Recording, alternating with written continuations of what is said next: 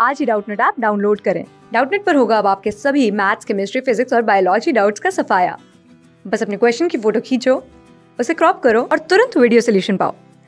Download now. Hello student the question is solve यहाँ पे इसको हमें सॉल्व करना है, ठीक है?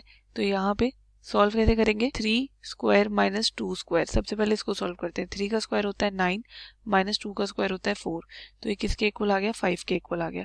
उसके बाद हमें पता है कि जब भी ए की पावर माइनस वन होता है, इसका मतलब होता है वन अपॉन ए ठीक है?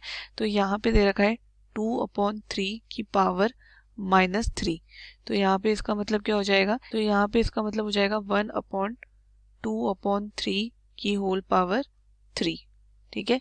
तो इसको हम इस तरीके से लिख सकते हैं थ्री अपॉन टू की होल पावर थ्री तो यहाँ पे there four three square minus two square की जगह पे आ जाएगा five in two two upon three की पावर माइनस थ्री की जगह पे आ जाएगा थ्री अपॉन टू की होल पावर थ्री इसको सॉल्व करेंगे फाइव इंटू थ्री की पावर थ्री होता है ट्वेंटी सेवन अपॉन में टू की पावर थ्री होता है एट तो यहाँ पे इसको सॉल्व किया तो ये कितना हो गया? One thirty five upon eight तो यहाँ इज़ इक्वल टू ये हो जाएगा one thirty five upon eight के इक्वल आएगा जब हम इसको सॉल्व कर लेंगे. थैंक यू क्लास सिक्स से ट्वेल्थ से लेके NEET I I T JEE mains और एडवांस के लेवल तक.